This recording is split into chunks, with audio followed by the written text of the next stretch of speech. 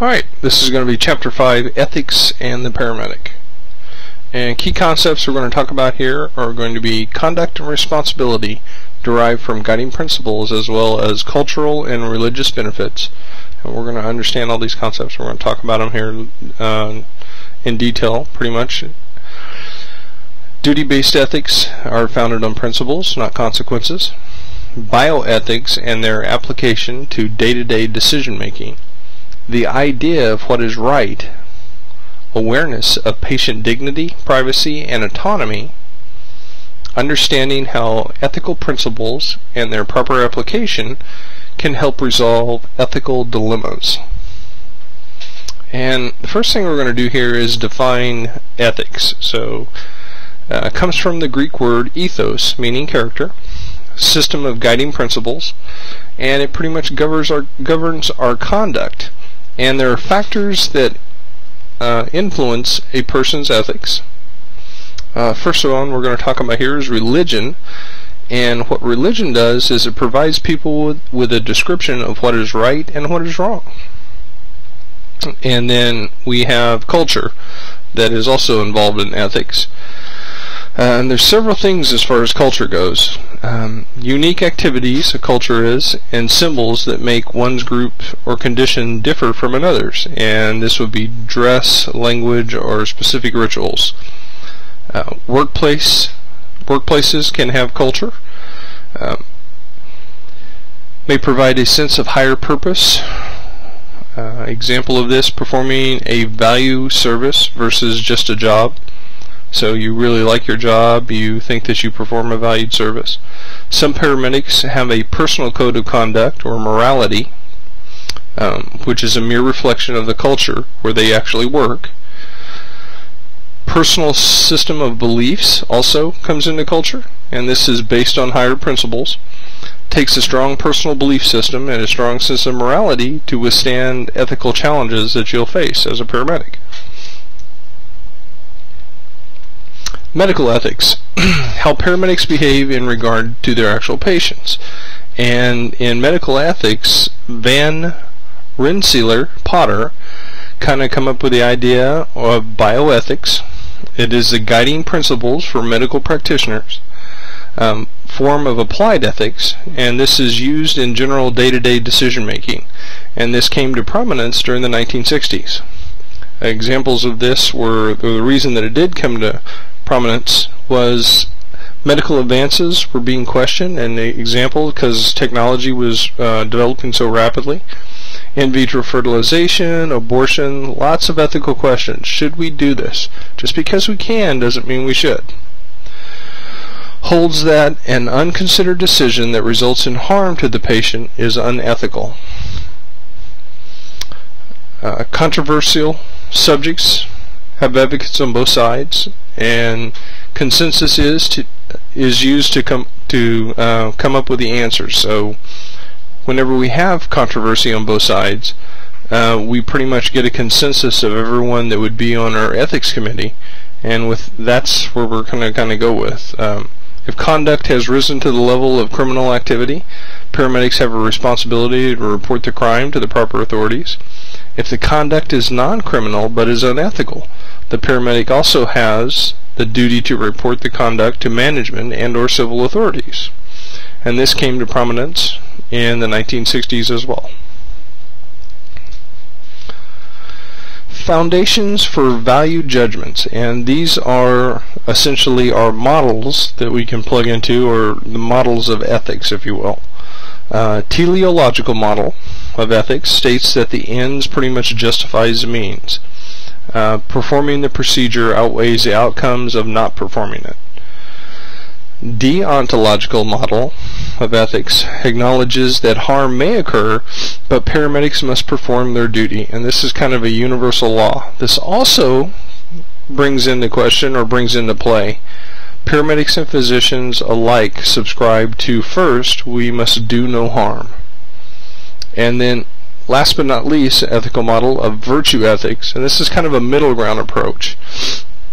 Uh, does not depend on consequences driven decisions or duty driven decisions, but upon the virtues of the medic themselves. A right thinking person will make the best decision. um, may be intrinsic, which, which an example of this would be from a compassion source, may be extrinsic or divine command ethics, and this is predetermined by uh, qualities of higher authority. So Christianity, um, Buddhism, whatever higher, higher authority that you subscribe to. Personal rights and moral obligations. A right is loosely defined as something to which a person is entitled, and these are based on society's sense of fair play. There are three types. There are natural rights, human rights, and legal rights. A natural right is an um, a function of existing in a society or a group. And an example of this would be freedom, freedom of expression, a human right, universally accepted standards of justice, and legal rights are afforded by the government in the form of laws. Mores and paramedic. And a more is pretty much a moral attitude. Uh, social norm is a rule of conduct that regulates the interaction between people but is not specific to one individual. Mores are more of a social custom and they are a collective agreement or moral obligation that goes beyond basic human rights. An example of this would be stopping at a traffic accident whenever you are off duty. Now, whenever you are off duty, the patient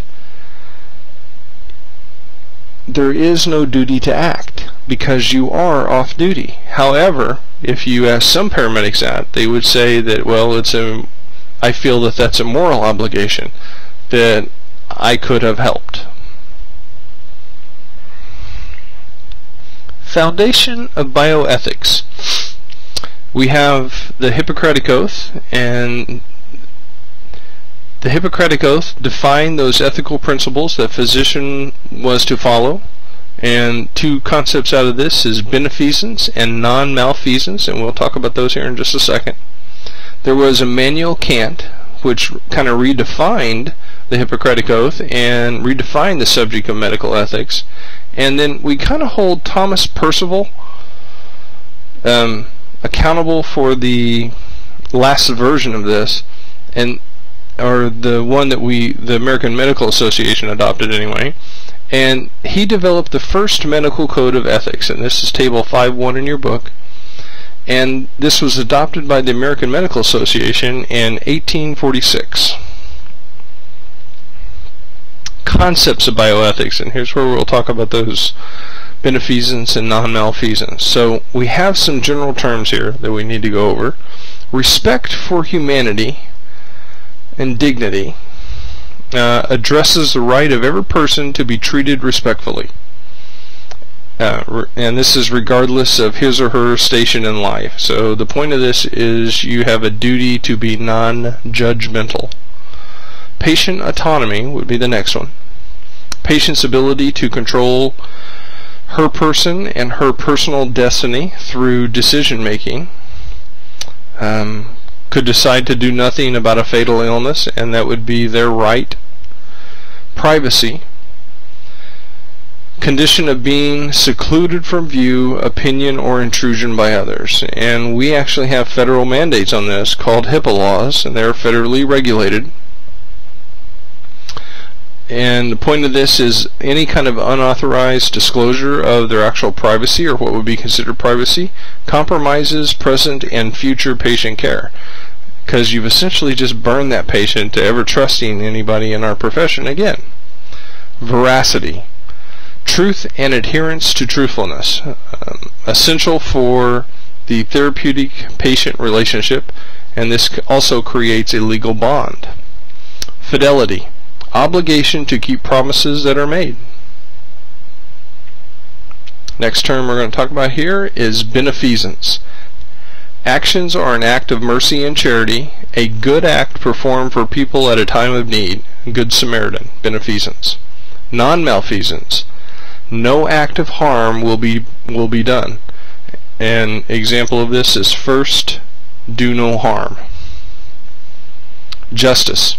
The application of the concept of fairness implies impartiality in the administration of rewards. EMS Code of Ethics, and this serves as a standard for the profession and a bias by which practitioners facilitate resolution of ethical dilemmas. So this is the gold standard, so to speak. Moral rules and particular circumstances here. So ethical obligation. The public has come to expect that its emergency medical service system is its public health safety net. So we're kind of the catch-all net for everything that goes on in, in, public health. It's an ethical burden to respond to calls for health. Uh, our calls, they should be immediate, not concerned with any kind of fairness. We were dispatched. We should go. Allocation of scarce medical resources. And this brings up, this is a particular circumstance. And the medical utility model is the one we kind of go with. Assumes that those with the best prognosis should be treated with the limited resources. And this is a form of utilitarianism. Ethics of EMS research. And following World War II, they come up with Nuremberg Code for ethical conduct. Uh, and this was enhanced by Helsinki Declaration of 1964 and currently all medical research is governed under federal regulation. Medical research is monitored by the U.S. Department of Health and Human Services. An institutional review board is required for medical research, and this is made up of experts in theology, sociology, psychology, and medicine. That the actual benefits on this research outweighs the risks for the patients. End of life decisions. They're complicated by the definition of death. An absence of a heartbeat and breathing or the absence of life. Now current technologies in EMS and advanced life support uh, permit a patient to be in a persistent vegetative state. Permanent states of unconsciousness with an intact brainstem that will produce a heartbeat and breathing. Most agree that biological death occurs whenever the brain is dead. Uh, paramedic encounters patients all the time who are near death and may be called to make CPR decisions. An ethics committee helps individuals deal with common ethical concerns, guidance with end-of-life decisions, and the, typically they're the same makeup as the Institutional Review Board. Uh, generally, uh, mission is to foster awareness of ethical concerns. And in conclusion, paramedics are confronted with ethical dilemmas, health-related questions. Understanding ethical principles and their proper application can help the paramedic resolve ethical dilemmas and allow the paramedic to continue to provide care without hesitation. References for this chapter are from the Professional Paramedic, Volume 1, Foundations of Paramedic Care, First Edition, pages 70 through 81, Delmar Learning. If you have any questions concerning this chapter, feel free to contact me. My name is Roy Smith, smithr at IMSA.net or 405-219-7613. Thank you.